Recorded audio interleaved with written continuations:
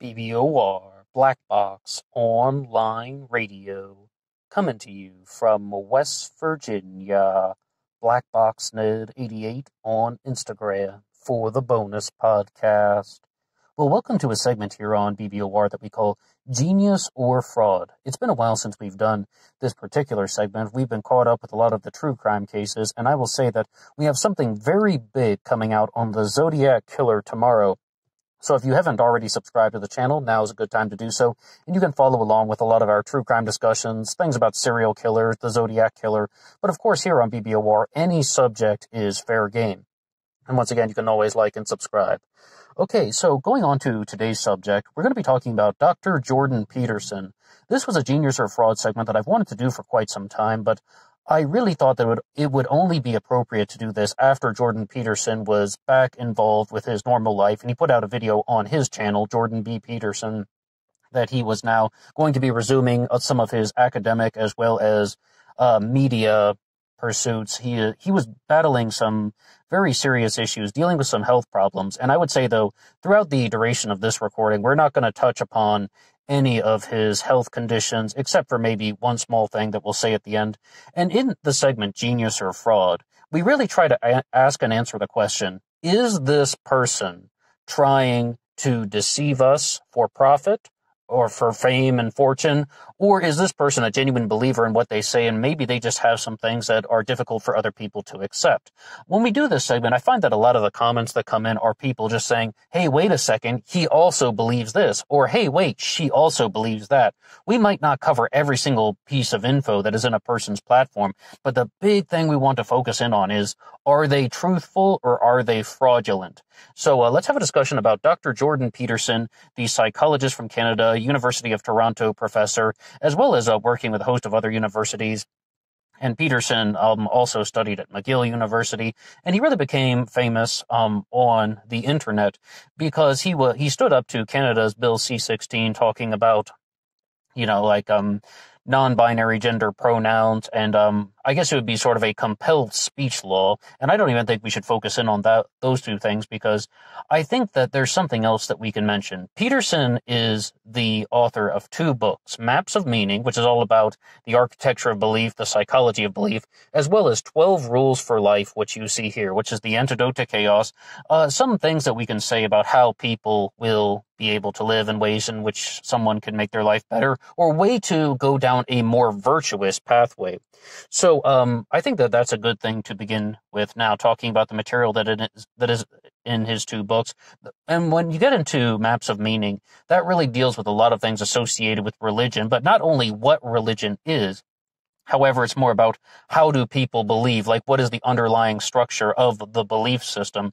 And I think that that is something that often gets neglected from the conversations when people are mentioning Jordan Peterson. They really just want to be so literal and they forget that as a psychologist, he's talking about how things function as opposed to simply what is going on on the surface. But with 12 rules for life, let's look at some claims that Jordan Peterson has made and what are things that we can say, you know, maybe in contrast, in comparison, as well as what are, what do other people have to say about Dr. Jordan Peterson and his 12 rules for life? Let's read them first. 12 rules for life. Number one, stand up straight with your shoulders back. Number two, treat yourself like someone you are responsible for helping. Number three, befriend people who want the best for you. Number four, compare yourself to who you were yesterday, not to who someone else is today. That's interesting the way this one is written. I almost think that they've misquoted that one. Uh, but um, uh, because I think that one comes in a variety of different ways. Number five, do not let your children do anything that makes you dislike them. Number number six, set your house in perfect order before you criticize the world. Number seven, pursue what is meaningful, not what is expedient. Number eight, tell the truth, or at least don't lie. Number nine, assume that the person you are listening to might know something you don't. Number 10, be precise in your speech. Number 11, do not bother children while they are skateboarding. And number 12, pet a cat when you encounter one in the street. Okay, now, um, as far as number 12, you might get rabies or something if you get too close to stray cats. That's one thing. But in all seriousness, what are some things that we can say about this one? The YouTube, um, former therapist Daniel Mackler, I mean, we say the former therapist turned YouTuber Daniel Mackler addressed number five very specifically. When he did a response to Dr. Jordan Peterson, he made the bold claim that he thoroughly wholeheartedly disagreed with number five. Do not let your children do anything that makes you dislike them. What we can say about that one is that Mackler's claim was that sometimes children are going to be expressing behaviors that are totally healthy, that are totally normal, that are totally expected, and parents are not going to like what they are doing. The whole concept of exploring the senses as well as pushing boundaries, as well as just doing things that are different than what the parents have and their expectation of how they should be.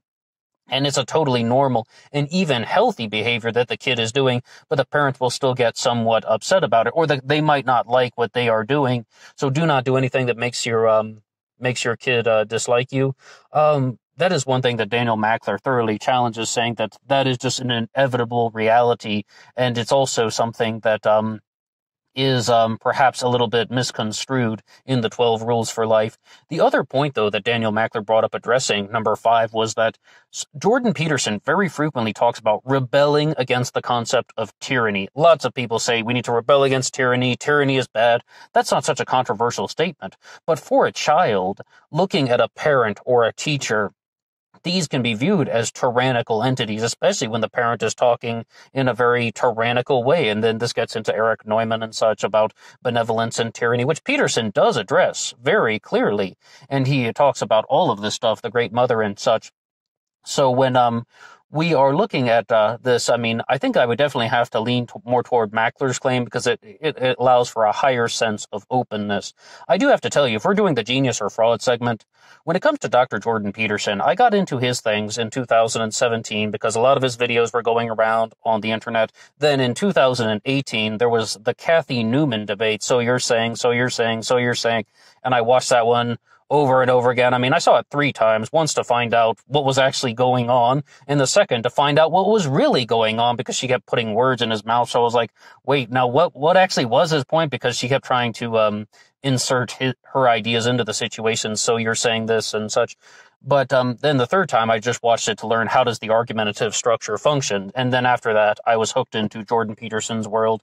And I would say that I've never found a psychologist on YouTube uh, that was speaking more directly to me, just using the big five personality traits, the big five character traits, just using the big five op- openness um, to experience, conscientiousness, extroversion, agreeableness, and neuroticism, represented by Ocean. Dr. Todd Grande also talks about this, and we'll say something about um, Dr. Todd Grande and his response to Dr. Jordan Peterson. Um, Todd Grande did a video in response to Peterson, but he his claims are more about um, he was using a lot of Peterson's material out of context.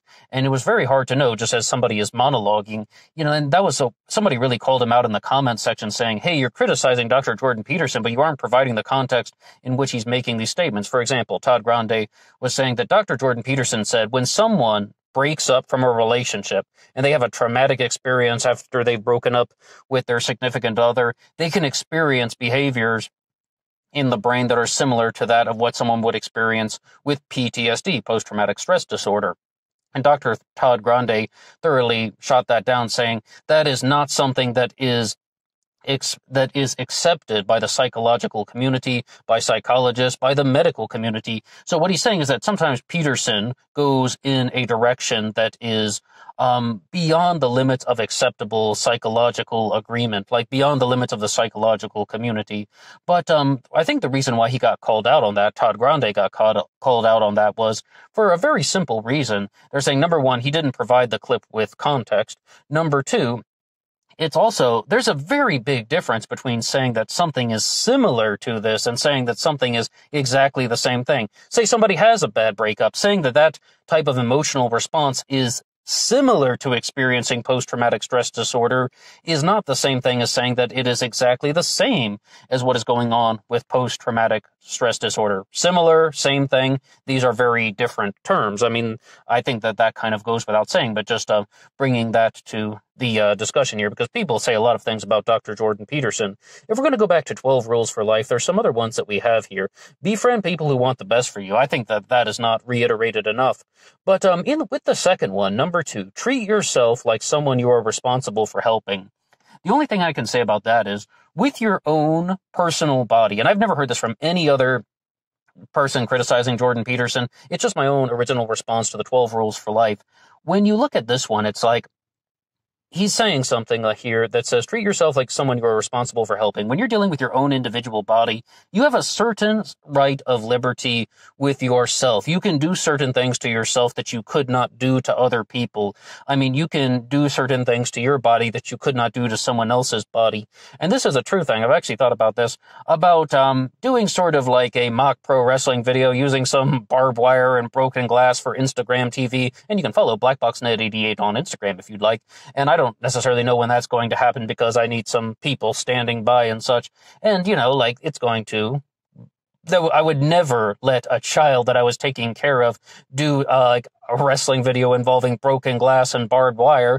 But if this is something that I want to do for myself in a purely, you know, videographic fashion that is not meant to cause any intentional self harm, but rather just to do something that's going to be very superficial and you know, like it's just going to be for display and it's just for a production. I mean, you have a certain sense of liberty about what you can do to yourself that you cannot do to other people. And um, furthermore, we don't treat adults the same way that we treat children. And this gets into a lot of the discussions that you can have in circles when they're talking about non-aggression. The entire concept of children are subject to laws and principles in a different way than that of adults. So um, to treat yourself like someone you're responsible for helping I mean, it would really depend on, I mean, are you treating a child that way or are you treating an adult that way? And also, I mean, if I were responsible for helping somebody, would I necessarily encourage them to do something like making a video where they're going to be breaking a bunch of glass and cutting themselves with barbed wire? I'm not necessarily sure. Do I have the right to do that? From with for myself, absolutely right to individuality and um, you know, freedom of expression, individual expression and such. Another point where um, I've never really heard too many people criticize Dr. Jordan Peterson is associated with his stances on free speech. As we said, he became famous because he was standing up to compelled speech laws. But one of the points that he also said was that um, he was being very critical of the SJWs, the social justice warriors. Not many people like SJWs that are outside of that uh, compound, except for maybe Dr. Richard Carrier. But when we want to talk about SJWs and such, Jordan Peterson even addressed the people who are simply criticizing uh, corporations, the people who are criticizing those who pollute. And what he said was that if you are holding a sign, waving it at a corporation, that's not taking environmentalism seriously. Spending 80 hours on that for the rest of your life, that's taking it seriously. And until then, don't go waving a sign at a corporation. So, um, in that particular instance, he simply told people to stop speaking. It's like, it's like you only need to use your voices when you are in a particular setting or when they've met his standard, when they've met his expectation, when they've actually achieved the standard that he desires for them, then it's okay to have, you know, the un- less restriction on free speech. And jo- Dr. Jordan Peterson is somebody who is very um, critical of college students.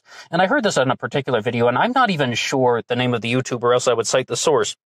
It's not my own original claim, but one guy was just saying Jordan Peterson views college students as a bunch of brats. Like that was his claim, and that's why he's saying that he actually really doesn't seem to like college students too frequently. But um, the reason why he's saying that is that like Peterson makes a lot of claims such as if you're 18 years old, you don't know anything. Six years ago, you were 12. If you're 19 years old, you don't know anything. Seven years ago, you were 12.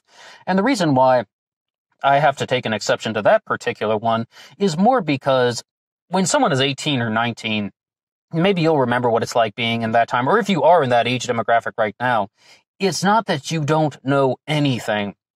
And I mean, you definitely don't know as much as you think you do, but nothing.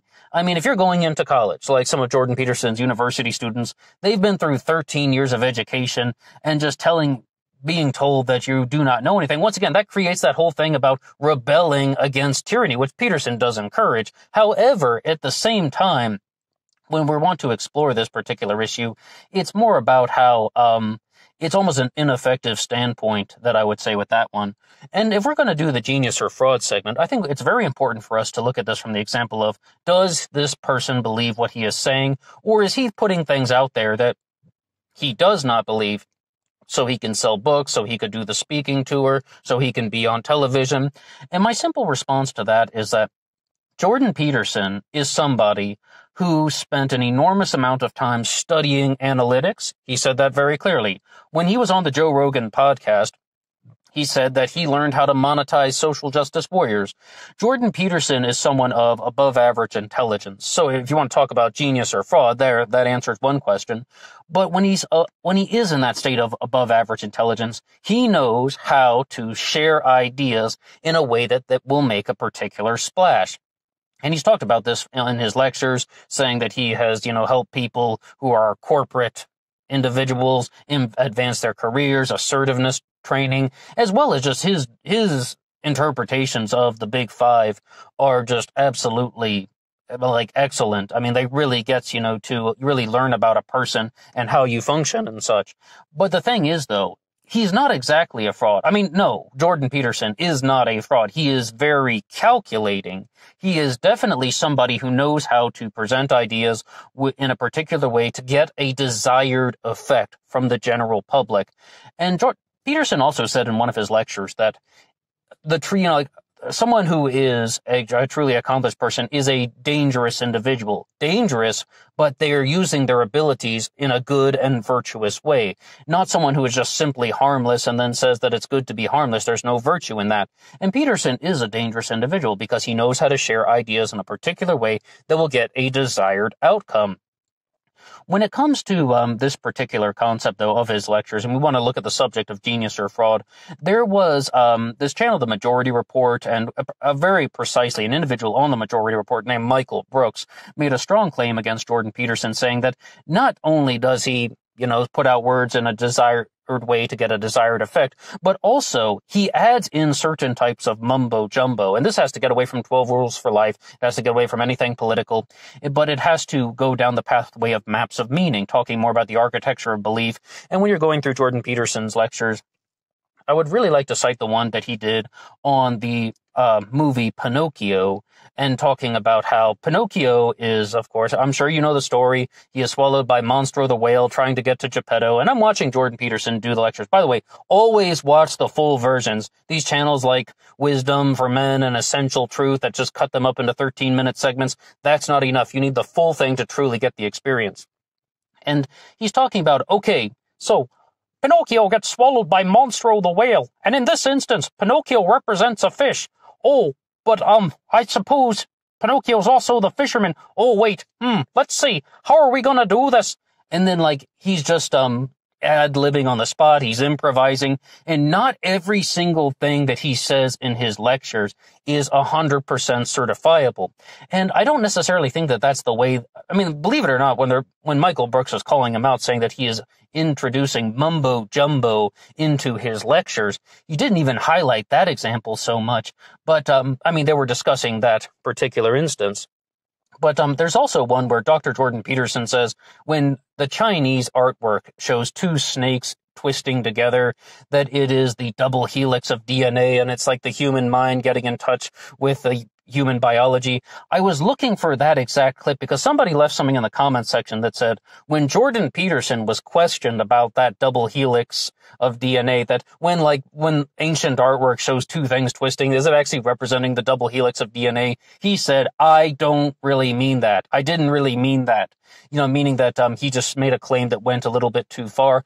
I was looking for that clip and I couldn't exactly find it, but it doesn't sound beyond belief because what I can definitely say about Dr. Jordan Peterson is he's very good at doing an uh, doing a solid monologue. But the thing is, though, at certain times he will improvise in a particular direction, and it will not always come out the way he intended, or that he, once again he's making some things up on the spot when he's talking about the structure of belief. And one final claim is, once again, I don't remember who said this, but um, it was some YouTuber that was being very critical of him because they're saying that Jordan Peterson is a Jungian psychologist. You know, we have Carl um, Jung, we have Sigmund Freud, and then uh, like other people like B.F. Skinner. Peterson is very anti B.F. Skinner. When it comes to Jung, um, Peterson is somebody who speaks very highly of him. He says that Jung was just perhaps one of the most intelligent people who ever lived. With Freud, Peterson says that Freud was wrong, but he was wrong in an interesting way.